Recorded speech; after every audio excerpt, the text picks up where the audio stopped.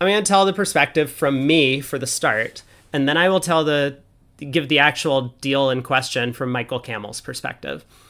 Um, so Michael, I mean, very strong player. Was he playing in this event? He was playing in this event. He was playing with Eric Robinson on that team, who got knocked out yesterday by Leibowitz? I don't remember. They got knocked out yesterday, but Michael Kamil was the pro that plays with the sponsor on a bunch of teams. And I was at a regional. I was playing with Craig on a sponsored team um, in northern Northern Virginia. This would have been the Reston Regional, maybe in like 2014 or 2015. I don't remember exactly the year, but we were playing in a morning knockout, and the other side of our bracket was the a team where Michael Kamil was playing with John Kranyak, and their teammates were, I think, Joel Wooldridge and a sponsor. I don't remember exactly, but that, that's kind of my guess.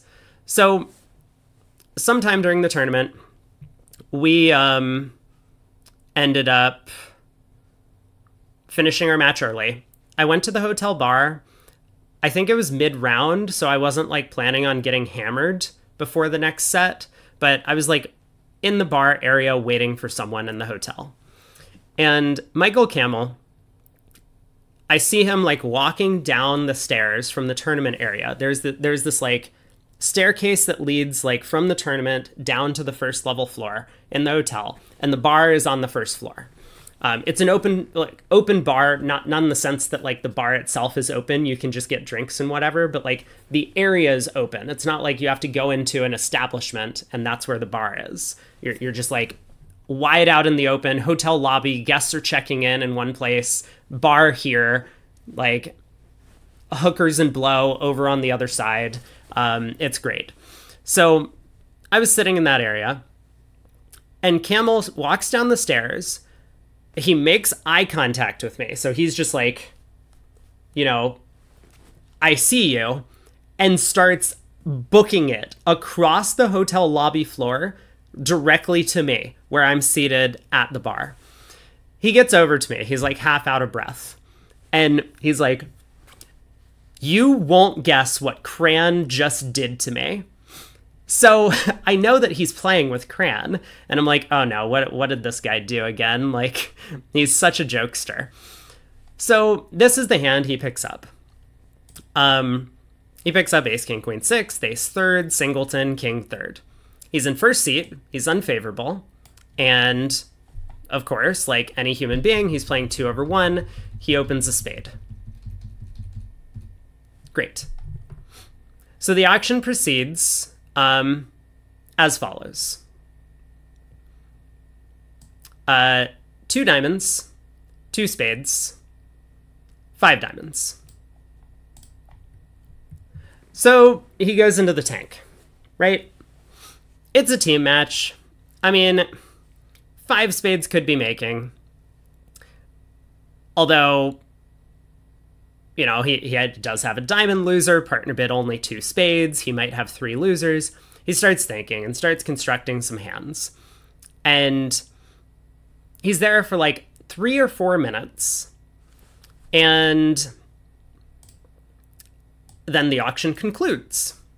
There, there's no more bidding because what happens is the other table finished play and both a member from his team and the other team come over, pat him on the back, and they're just like, hey, we've conceded the match. Okay?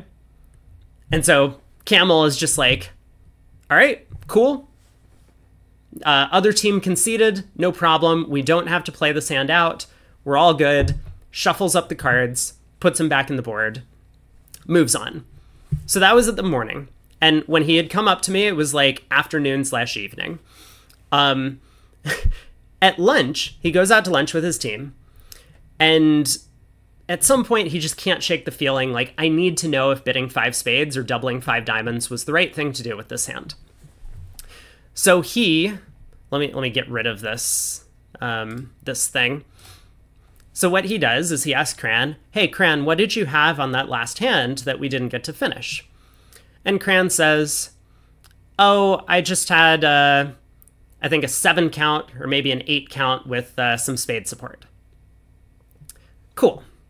So Michael's like, "Oh, okay, cool, no problem. Um, thanks for letting me know." But then, a bit later, he's up in his hotel room and he's th- sitting around and thinking, and and goes, "Man, I- I've constructed some like eight counts for Kran, and it's still." I really need to know because he had come up with the determination that he was going to bid five spades on this one, and you know that he has to know if he had done the right thing. So he goes up to Kran again and goes, Okay, I, I really need to know what your hand was. And Kran says, Well, you know, I, I, I did tell you, I just had like a few values and some spade support. And he's like, Yeah, yeah, but I mean, like, what values? You know, like, were your values in hearts?